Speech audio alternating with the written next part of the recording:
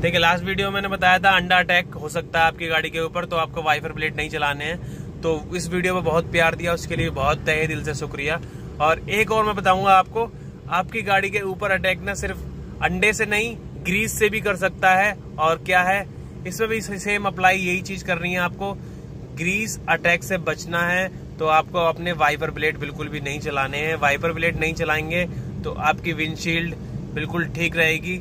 जहाँ जहाँ स्पोर्ट पे आपकी उसने ग्रीस या अंडा मारा होगा, उसी जगह पे स्पोर्ट रहेगा। अगर आप उसको वाइपर की मदद से साफ़ करना चाहते हैं तो वो और साफ़ होने की जगह आपकी विजिबिलिटी बिल्कुल ज़ीरो हो जाएगी, आपकी गाड़ी फिर आपको रोकनी पड़ जाएगी या ठुक जाएगी।